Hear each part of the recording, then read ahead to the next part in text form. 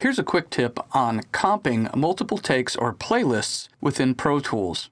Now what I've done for this example is I recorded a few takes of a simple narration I was working on. If you're not familiar with playlists in Pro Tools, you can look at a track here, click the little pull down next to the track name, and you can see I have multiple takes. If I want to record more takes, I could create new. Now to view all of those takes in comparison to each other, I can go to the track view selector and change it from waveform to playlists.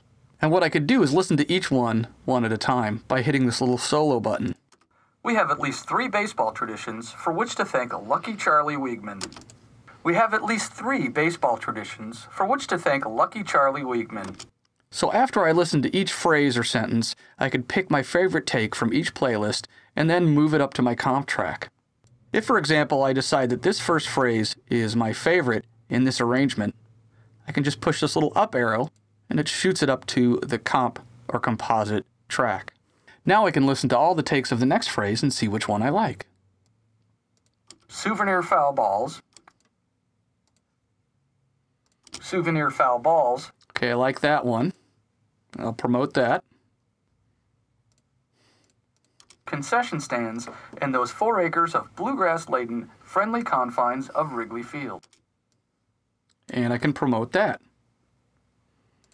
Now you'll notice the two clips from two takes overlapped, but don't panic because Pro Tools is non-destructive. So I can just click and drag this, scoot it over, and then I can stretch out the other clip so that everything lines up properly. And then I can freely edit these various takes together. So this clip originated from this take, this clip originated from this take, and this clip originated from that take. We have at least three baseball traditions for which to thank Lucky Charlie Weeghman souvenir foul balls, concession stands, and those four acres of bluegrass laden, friendly confines of Wrigley Field.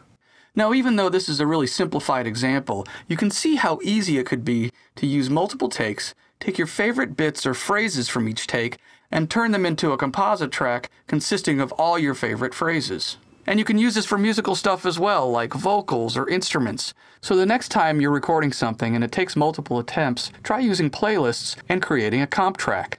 Thanks for watching.